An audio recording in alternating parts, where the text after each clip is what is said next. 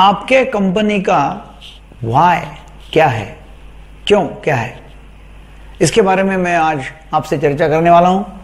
मेरा नाम है डॉक्टर दीपक केड़कर मैं मनोविकार, सेक्स, रोग, सम्मोहन तथा व्यसन मुख्य तज्ञ हूँ। उसके साथ साथ हम सन्मित्र बैंक अकोला का चेयरमैन हूँ। वहाँ काफ़ी बिज़नेस सेमिनार्स वर्कशॉप्स लेते रहते हैं।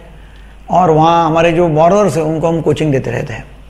तो उसके अंतर्गत हम विजन के बारे में काफ़ी सारी चर्चा करते रहते हैं कि भाई आपके कंपनी का विजन क्या है? ऑर्गेनाइजेशनल विजन क्या है कि आप कोई कंपनी में जाते हो तो कंपनी के बाहर ऑफ़िस में वहाँ विजन मिशन लिखा रहता है। काफ़ी कंपनियाँ वो विजन मिशन पब्लिश करते हैं। उनके कंपनी के एनुअल रिपोर्ट्स में आते रहता है।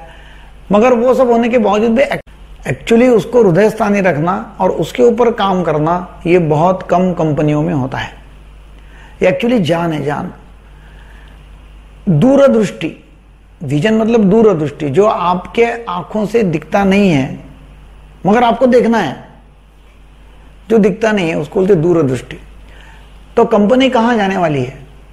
कंपनी का रास्ता क्या है? ऐसा बोला जाता है कि बहुत कम लोगों को ये विजन है, बहुत कम कंपनियों को विजन है कि हमको जाना कहाँ है। लोग तो सर्वाइवल में जीते हैं।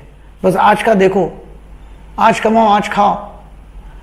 लोगों को तो मालूम ही नहीं फ्यूचर में क्या होने वाला है। फ्यूचर की तो कोई बात करते ही नहीं, हमारे डीएनए में वो है ही नहीं। मगर यदि आपको कभी कभी कुछ प्रॉब्लम होता है तो आपको फ्यूचर की तरफ़ देख के आज एक्शन लेनी पड़ती है। एक मेरे पास में अच्छा कोट है, वो मैं आपको सुनाता हूँ। तो आपको समझ में आएगा मैं क्या बोल रहा हूँ कि someone one said we better pay attention to our future we better pay attention to our future because that is where we have to spend the rest of your live हमको हमारे फ्यूचर के तरफ़, भविष्य के तरफ़ ख्याल देने का है, क्योंकि वहीं तो हमको जीना है। तो ये किसी ने कहा है। तो हमको, समझो, एक नदी है और नदी आपको पार करने का है। बीच में बहुत नदी गहरी है।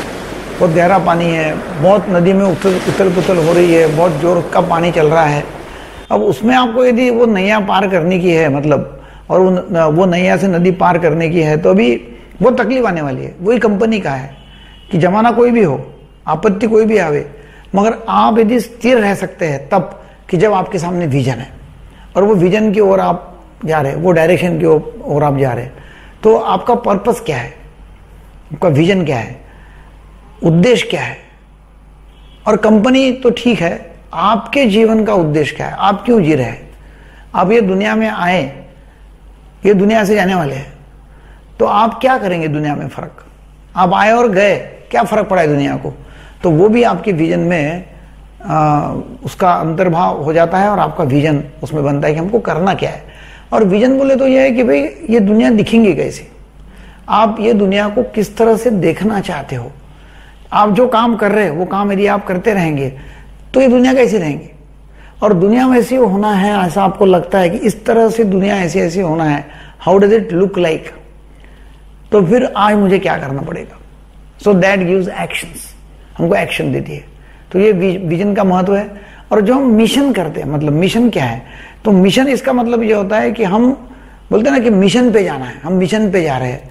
मतलब वो जो विजन पूरा करना है तो विजन पूर्ति के लिए जो एक्शंस लेते हैं, जो हमारी एक्शंस है, जो हमारी स्ट्रेटेजीज है, जो प्लानिंग है, उसको मिशन बोलते हैं। कि हम किस तरह से वो हमारा विजन पूरा करेंगे। तो उसको बोलते हैं मिशन तो विजन और मिशन जो है, वो हमारे यदि क्लियर है, वो हमारे हार्ट तक है, पक्के बिल्कुल। वो हमारे डीएनए में घुसे हुए है तो हमको तरक्की से कोई रुका ही सकता नहीं है। इतना विजन का महत्व है। ये वीडियो आपको अच्छा लगा तो ज़रूर शेयर करो।